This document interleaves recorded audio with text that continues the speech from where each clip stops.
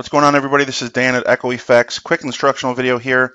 One of the easiest ways to use your email that's provided by Echo Efx, which is you know your your name at yourdomain.com, um, whatever it might be, is to actually use a Gmail account, um, almost like an Outlook account if you're familiar with Microsoft Outlook.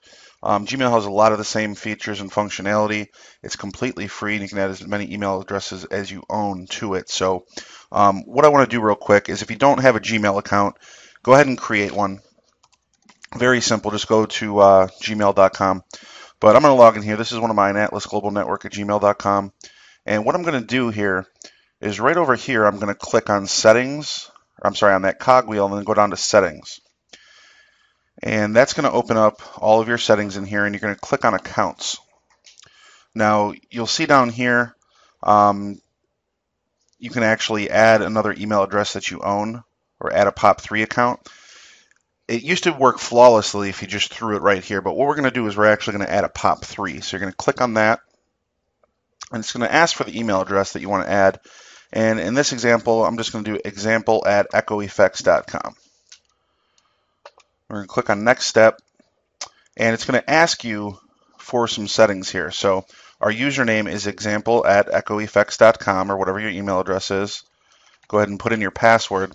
And then right here where it's asking for pop server, you have to change that. And where you can find that is actually on Echo Efx' website. Just click right here on email. And this video is on this page as well as some other ones. And then there's manual instructions down here. So under manual settings, you'll notice the incoming server and the outgoing server are identical. You're just going to copy that and right where it was asking for it, you're going to put that in there. Okay. And then we're going to leave a copy of the retrieve message on the server. Um, we're going to label the incoming messages from that email. And we're going to click Add Account. Okay, it says you can now retrieve mail from this account. Would you also like to be able to send mail as example? Yes, I do. And you're going to see why. It's really cool. So you hit next step. And that's it. Okay. So we're going to close that.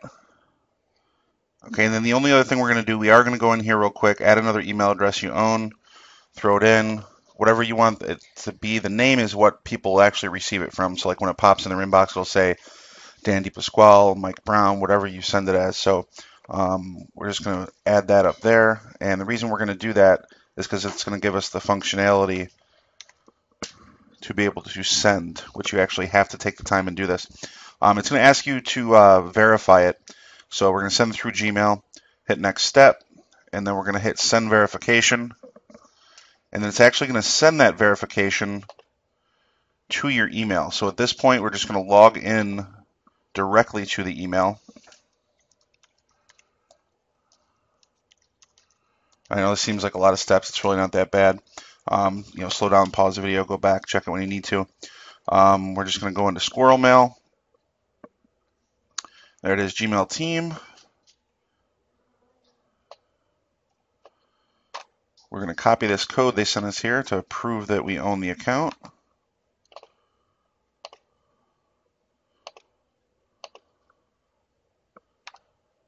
Hit paste, verify it. There you go, and now it's sent, it shows up right there. So check this out. What's going to happen is when you go and send an email, you're going to have this other line here that says from, okay, and it shows your main Gmail address. We're going to click, we're going to we're going to select example at Echo Efx, and then that's where it's going to come from. Okay, so if we actually send it back to the same email, Atlas Global Network at gmail.com, hit send, it's going to pop in here. There you go, from Dan DePasquale test, and that's actually from that example at Echo Efx. And when they reply, it's going to go to example at Echo Efx. Okay, so very, very cool. Now, if you get an email and somebody emailed you to your Echo Efx email or whatever your email is, you will reply and it'll go directly from there. Okay, so you don't have to worry about switching when you're replying.